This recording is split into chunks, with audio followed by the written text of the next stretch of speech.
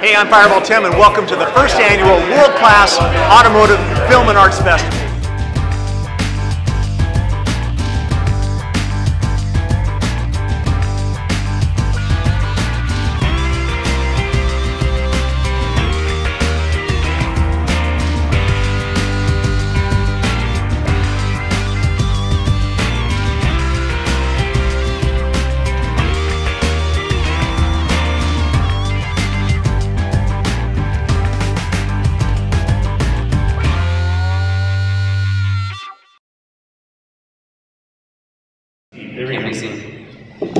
So um, this is part of a bigger picture.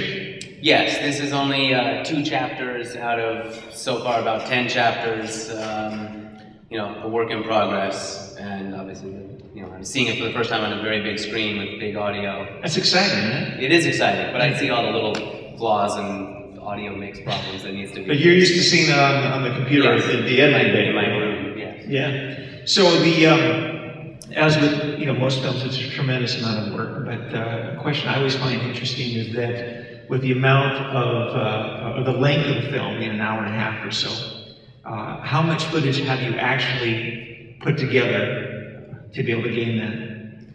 Well, we've shot. I mean, over the course of probably three and a half years, we've shot probably 50 or 60 hours of interviews because you know once you get these guys and I got guys out at like Gilmore Stadium um, just all over Los Angeles at all the tracks it used to be, and you really don't want to tell them to stop talking.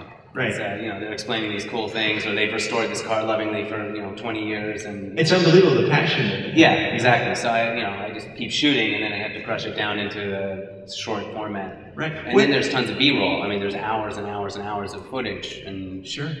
Yeah, it just goes on and on. What uh, was your initial germ, your initial inspiration well, for doing this? I used to work uh, on a TV show called California's Gold with Huell Howser, and this guy, Harold Osmer, wrote a book called Where They Raced.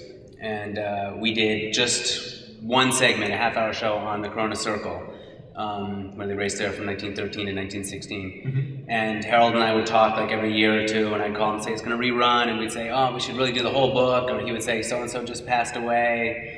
And finally, after like five years of that, and he said someone else just passed away. We were like, okay, let's just get a camera, right. start shooting, you know, to capture this before it disappears, because it's literally, you know, everything's turned into a parking lot or a thrifty or a, you know something, and um, you know, we wanted to capture it before it was too late, when you could still actually get moments and yeah. see some of the parts of the tracks that still exist. Yeah, it's really exciting because I mean, people are driving around LA and, Yeah. and have no idea No clue whatsoever. any of these Yeah. tracks exist, let alone the fact that they're on the track. Yeah, my favorite one that I never knew about was uh, in Beverly Hills, like right in the middle of Rodeo Drive. It was a mile and a quarter board track, which was made out of two by fours on edge, which you know, Wow. must have taken a forest to build. And Los Angeles was actually home to the first board track, what's considered the greatest board track, the Beverly Hills, and then the fastest board track, which was in Culver City. Um, and there were only 24 board tracks on, in the whole nation. They tended to, you know, catch on fire as there was lots of oil and gas and wood. Right. Um, so they didn't last too long. But uh, How, how many how many tracks were there? I mean, Oh, I mean, it's hundreds. I Hundreds, mean, yeah. especially when you start counting all the drag strips that opened up later, and you know, smaller ovals, and sure. so literally hundreds. Yeah. So what's your time frame now to be able to complete the film? Um, yeah, that's a great question. Uh, you know, I hope to have it done. I had hoped to have it done, you know, by now. Right. Um, but I would say, you know, September. I'm pretty much done. I'm finishing up the Lions drag strip section where I had uh, Danny Thompson and uh, Judy, Mickey's first wife, were walking down the drag strip, um, and then a little bit on uh, Turkey Night with J.C. Agajanian Jr. And that's basically done. I just have to finish editing it, and then I need to, you know, fix all the little problems that exist, and then uh, it'll be out there. Now you, you, you told me we were talking earlier that um, that but we did pay, paid that bug. Paid the bug extra. Excellent. distract I bathe. Um, that you are more of a storyteller than you are a car guy. Yes, I mean I've always loved cars. My grandfather was kind of a failed B-level race car driver in Italy, and then he turned into a auto importer. So he always had really cool cars, and uh, like my first driving experience was in a, a 1973 911 uh, RS, and I thought I was going 100 miles an hour at age 11. It was, it was only 100 kilometers an hour, but uh, so I've always had that love, but you know, I can't tell you everything about every car and every track. It's more, you know, I'm fascinated by LA history and, you know, LA and the car grew up around each other. I mean, people talk about the red car and public transit, but the automobile really shaped the city Mm-hmm. and the city really shaped the car. I mean, there's so much innovation took place in Los Angeles on, you know, Sure. to this day. Yeah. What, what were some of the challenges that you, you faced that um, that were extreme that you know that might have prohibited you from being able to complete so far what you have? Right. I mean, you know, obviously budget is always the, the biggest challenge. We did this. I got did a little Kickstarter campaign. Uh, Did it work? I got some money, and then I got would cleverly. I actually managed to get people to give me money directly instead of Kickstarter taking the ten percent or whatever, which uh, helped a lot. Because I've made other documentaries, and I refuse to spend my own money on this. Um, so I've only spent other people's money on this, which is a good a good plan for me. But it's taken you know four years since we really started. Sure, sure. You know, I'll put it away for three months and not do any work on it, or I'll just watch, you know, ten hours of weird B-roll footage that I found in someone's garage somewhere. Right, right. We were we had some interviews yesterday, and it was um, uh, a common subject about people's need to express themselves through uh, some of these guys through racing. For you in particular, through film. And uh, uh, what is it about film for you? I mean, you've done a number of movies at this point, a number of, of documentaries. And why is it that uh, that you keep coming back to this particular medium? What does it do for you? I don't know. It's I, it's that's a good question. I'm I, it's, it's the way I feel like I can express myself best. You know, I, I like to write, but I'm I'm not a good writer, uh, and uh, so I can tell pictures, tell stories with pictures, and use other people's thoughts to help sort of stitch it all together. And I love you know learning about the history of places. So. Well, cinema is certainly a form of, of art in the same way that Sure. paintings or sculpture and things like that. But you're you're giving people an experience. You know. Do you guys like the film? Yeah, That's great.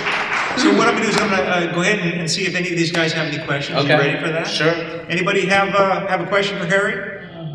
I don't know a lot about the uh, early racing, but what I what I've read is the board track racing was very dangerous.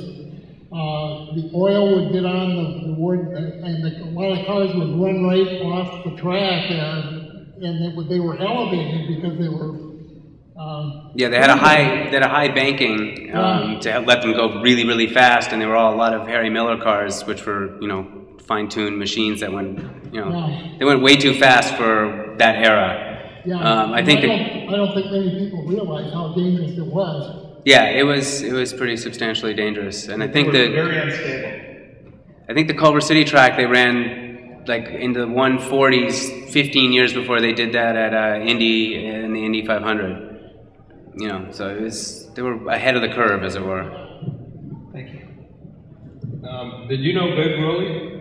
I'm sorry, who? Big Willie Robinson? Uh, not personally, no, but I know of him and what he did, and hopefully for lap two that'll be uh, part of it. This this version of where they race sort of caps out around 1960 or so. So it Um, goes from 1913 to 1900 to yeah 1960 ish. Um, you know, I have some really good footage of uh, Paramount Ranch, uh, so you know I don't know, I maybe got to include that. My favorite track. yeah, your favorite track? It's an amazing track, but. Yeah, I'd love to revive that track. Yes. Well, I love to see anything where there's still part of the track there. i- It's just sort of fascinating that you can actually go and, you know, when you park at the ranger station, you actually drive down part of one of the straightaways, and you know, I sort of love that. And Legion Ascot, which is in uh, Lincoln Heights, um, you know, sort of the, the way the curve, the street curves is actually where the, the turn four was, and you know, it's sort of amazing that you can still do that. That's awesome. The sequel one- will be Where Will We Race? Yeah. So I think that could be your next campaign. Okay. Well, let me get this one done, and then I'll step up to that one. All right, great. All right, let's give Harry a round of applause. Fantastic film. Really great. Thank you.